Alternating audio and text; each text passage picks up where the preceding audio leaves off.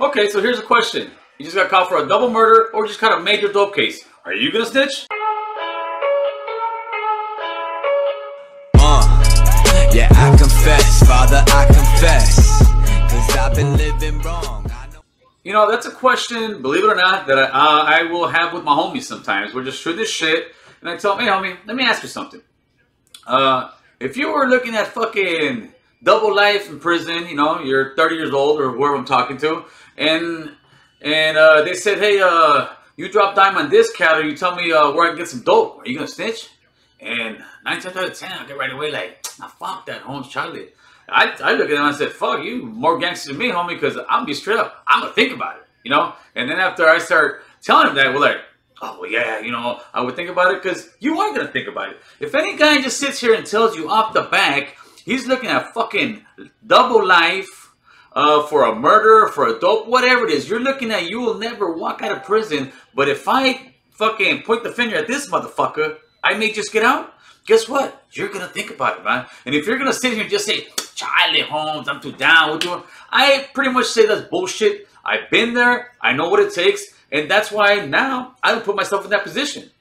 Now, if somebody really asks me, hey, Gil, would you fucking stitch on somebody? Like I said, I don't know. And that's why I'm not slanging dope. And that's why I'm not out there fucking breaking the law because I'm not willing to pay that price anymore. When I was a young kid, didn't know any better, I would probably say, no, I wouldn't snitch on anybody. And I've been put in those positions and I didn't snitch. But when people just ask you that and your first reaction or somebody just says, Charlie, no, off the back without even thinking about it, they're full of shit. That is such a big package to take on that quick that if you just flat out said, no, I won't, most likely you're just talking to your homies or you're talking to some vatos you may be scared of, so you're saying that. But I'm saying as a conversation from one man to another, if somebody sits there and tells me, hey, you might get out if you fucking snitch on these guys, guess what?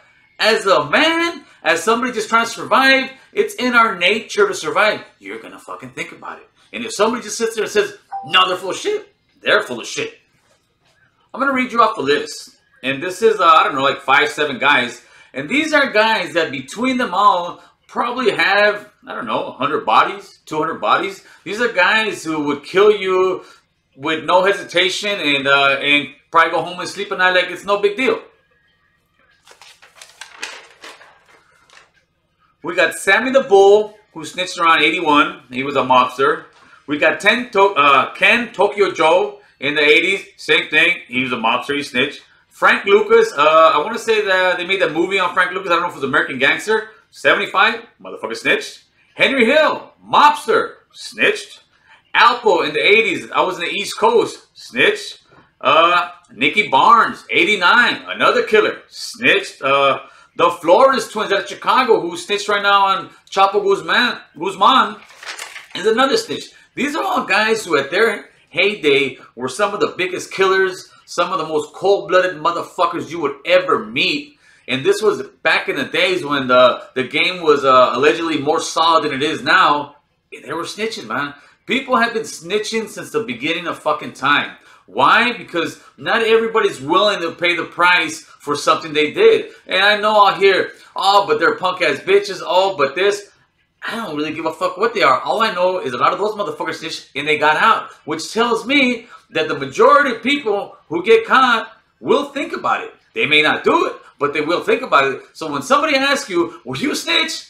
The answer is, I don't know. I hope not. But the answer really should be is, I won't put myself in that position to fucking find out because that's not a price I'm willing to pay. My first advice to anyone who's living that gangster life and may even put themselves in a situation where they're not, I mean, not even looking at life, looking at a year, looking at six months, looking at whatever time, man. What, what I realize is that a lot of these youngsters don't know, man. And even if you're not out there breaking the law, the first thing you do, if the cops get you in a place where they're questioning you, the first thing you do, it's like a safe word. It's like kryptonite to the police, is you say, if you're gonna arrest me, arrest me and get me a lawyer. I got nothing to say. These cops will fucking, their face expressions with their happiness and trying to help you will change into upset. They will back the fuck up from you and they're out of the room, man.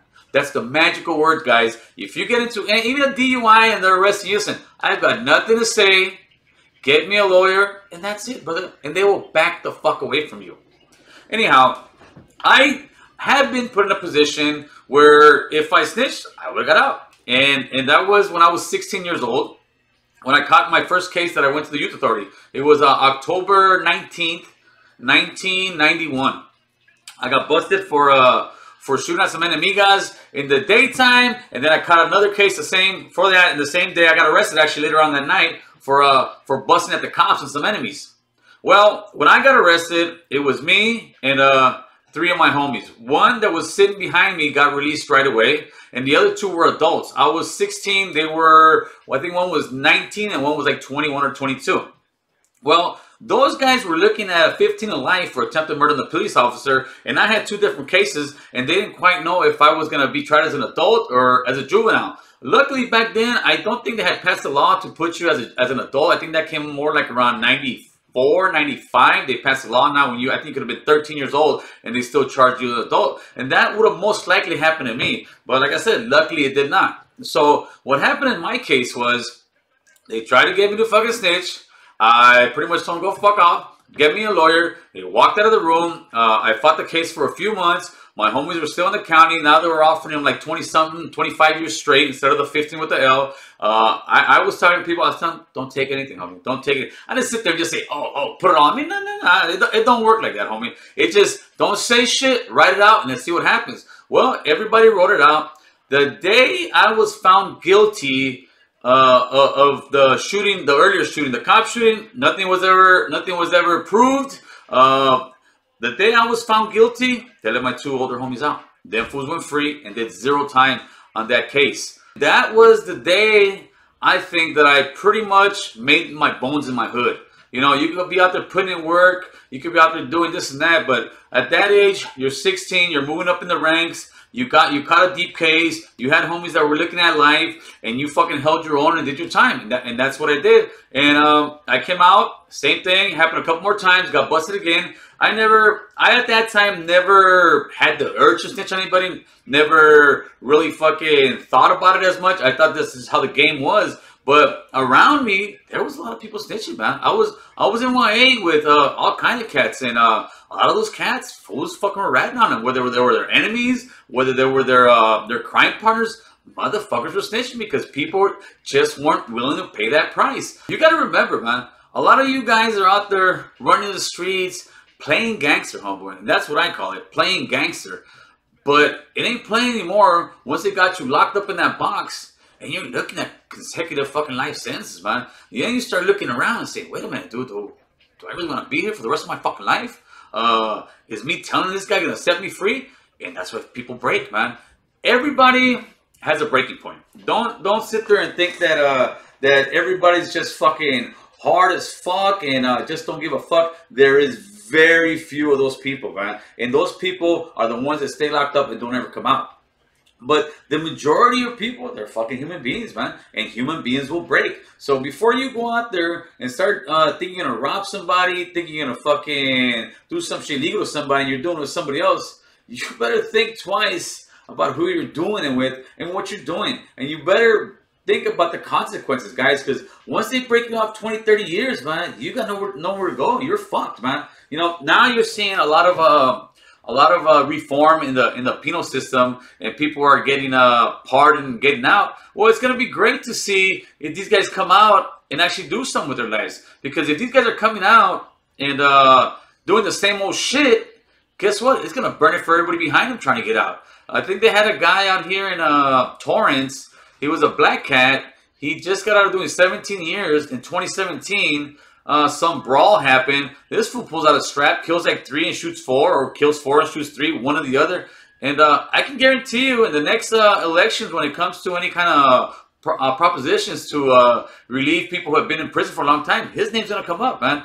It's, it's not like you, you do one thing and it doesn't affect everybody else. The reason so many laws start getting put into place is because that people keep burning the spot keep people keep fucking up, and then they start tying the shit up, tying the shit up, and at the end, we're the ones complaining. Well, why you guys got these laws going? Why you guys doing? It's because we're fucking up, homie. Chapo's case right now, the Sinaloa cartel one, that guy's got so many people snitching on him. They're they're falling over each other to be the first ones to try to get him convicted so they get a deal. And uh, if you watched any of the, which are great episodes on Netflix, those Narcos ones, start from um, start from the Pablo Escobar one, go to the Mexico one, yeah, I'm sure they they changed the story a little bit, but for the most part, the characters and everything are dead on, man. And uh, most of those characters, they end up snitching on each other, man. Everybody ends up talking, man. The feds will break you. Like I said, people, you only get one shot at life out here, right? You only get one shot at life. And when that's been taken from you and somebody's waving that little fucking carrot saying, hey, you fucking tell me something, I'm gonna let you go free. Guess what? You will look at life quite a bit different, man. You know, so take this as a warning.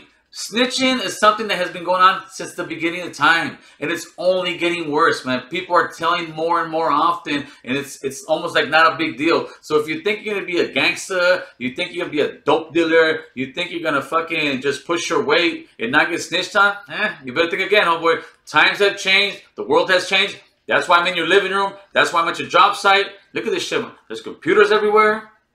Everybody's listening to everything. Everything you say Everything you text is being recorded somewhere by someone. It doesn't mean that they're on you specifically, but what the feds are doing is they're taking all this stuff, they're pretty much writing a book on you, and that way, when it comes time that you do anything or something goes on, click this guy's name, put it up, boom, dude, they're showing a spreadsheet of all the websites you've been on, uh, everybody you've talked to, everybody you've tagged, every fucking phone call you made, every posting you made on Instagram. I mean, everything you do. Brother, you go, you go to, you go to the gym. I'm, I'm listening to my Pandora. I'm at the gym. It says, "Hey, do you want to listen to gym music?" Um, I go to a restaurant. Hey, can you rate this restaurant? Um, I'm at Home Depot. Hey, how do you like Home Depot? You know, anything that you click on there, you think it's coincidental you start getting uh advertisement for it? Nah, man, it's a different world. This world is all being recorded. This world is, it, there's a record of everything that we're doing. So this is probably the worst time in America to be a, uh, to be a criminal, to just be a criminal. I mean, straight up. Today in America, the chances of you getting caught are very high. So only because you hear snitches get stitches, yeah, that may be true, but a lot of snitches get out, and that's what they got the carrot for. They're trying to get the fuck out of jail. My advice to you, don't break the law. My advice to you, stay out of jail. My advice to you, get a fucking job, man. Grow the fuck up. You know, you're gonna have to follow somebody's rules. Gangsters are always the ones that I don't give a fuck. Uh, I'm gonna do what I want. You know, I'm gonna run the streets because you don't want no rules.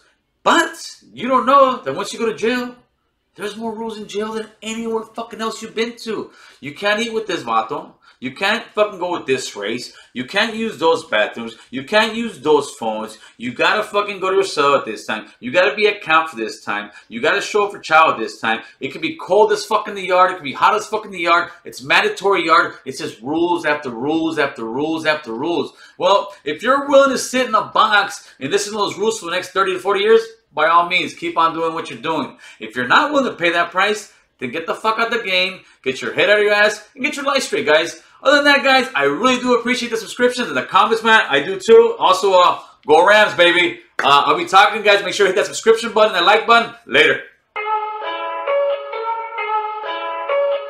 Uh, yeah, I confess, Father, I confess. Cause I've been living wrong.